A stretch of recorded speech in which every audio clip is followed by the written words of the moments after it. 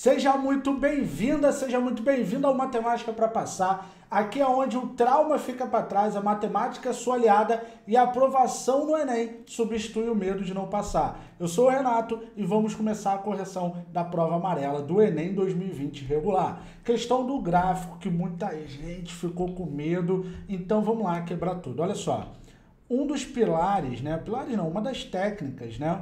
Que nós ensinamos no método MPP é o método dos 50. E para o Enem ela é primordial. Por quê? É aqui, galera, que nós te ensinamos a interpretar as questões. Então vem comigo, ó. Vamos lá, você vai ler o problema, né? Vamos ler. Ó. Um administrador resolve estudar o lucro de sua empresa e para isso traça o gráfico da receita e do custo de produção de seus itens, em real, em função da quantidade de itens produzidos. O lucro é determinado ao lucro, isso aqui que é importante, ao lucro é determinado pela diferença receita menos custo. Então, lucro é receita menos custos. O gráfico que representa o lucro, ó, o gráfico que representa o lucro dessa empresa, eu vou deixar só aqui para você ver, o lucro dessa empresa em função da quantidade de itens produzidos é.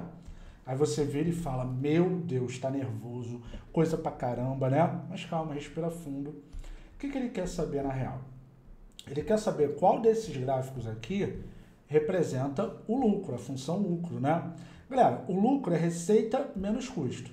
Galera, quando o lucro, você vai ter lucro positivo, a ideia de lucro, você vai ter lucro positivo quando a receita for maior que o custo. Repara aqui nesse intervalo ó, de 5 a 15. Pegou esse intervalo de 5 a 15?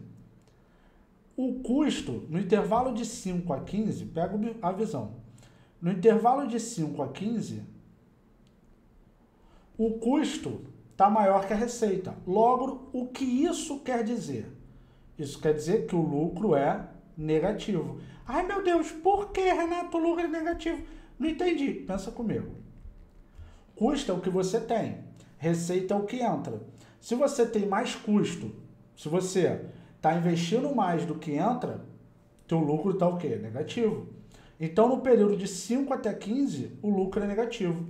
Vamos ver qual dos gráficos no período de 5 até 15 o lucro é negativo, ou seja, está para baixo.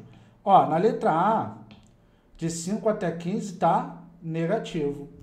Na letra B, na letra B aqui, ó, de 5 até 15 está positivo, já está errado. Na letra C, de 5 até 15 está positivo.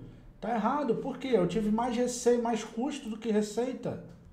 Na letra D, ó, de 5 até 15, continua positivo, tá errado. E na letra E, de 5 até 15, continua positivo, tá errado. Acabou. Simples assim. Qual é o gabarito? Letra A. De I love o método MPP. Zero trauma. Que isso? Era só isso? Só isso. Eles deram esse mole, o lucro é negativo nesse pedaço. E aí uma outra maneira que você pode ver é que nesse, nesse momento aqui do 15, né? Tanto o lucro, tanto a receita quanto o custo, elas são o quê? Iguais. Então no 15 tem que dar zero. Pode ver aqui que no 15 dá zero. Beleza? E aí depois sobe e desce. Show de bola? Mas só de analisar isso, tu já mata a questão. Meu Deus, é. Esse é o método MPP, beleza? Galera, se, essa, se esse vídeo aqui te ajudou, compartilha aí para que mais pessoas possam ver, beleza? Tamo junto para cima deles eu volto com uma nova questão do Enem aqui para gente quebrar tudo. Tamo junto para cima deles. Valeu, galera!